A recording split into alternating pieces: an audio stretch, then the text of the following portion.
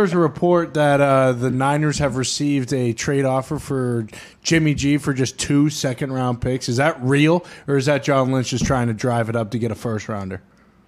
I, I have not heard that. Um, I mean, I think that's the price they would do it at. I haven't heard that. And I'm looking around like, who could that be? Right? I mean, they're not going to trade him to Seattle, I don't think.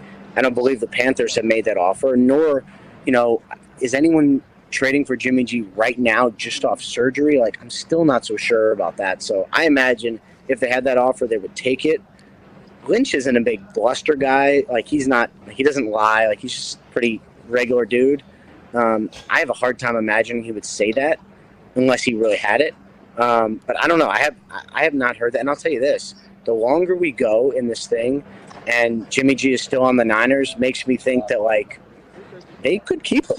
I mean, let him into the playoffs last year. I know it wasn't perfect, but like, would it be the craziest thing in the world to keep him and let Trey Lance learn for another year? Like, I could think of worse outcomes for the 49ers. I, I just don't see a spot for him. Wouldn't that be like exactly what every other team exec would say whenever they're thinking about getting Baker Mayfield or not? Like, like which, now Jimmy G's already been paid though. So that's Yeah. the Yeah. difference here. Mm-hmm.